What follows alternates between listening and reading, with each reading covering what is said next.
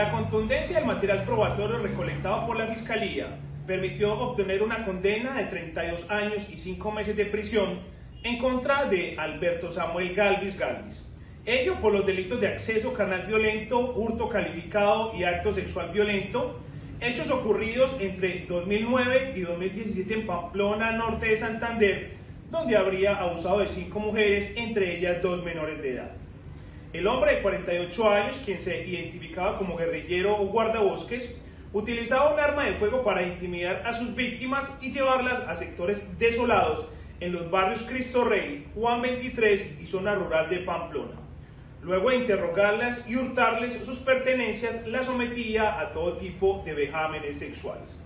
La sentencia se logró tras preacuerdo entre la Fiscalía y la defensa del procesado, quien aceptó su responsabilidad en los cargos formulados.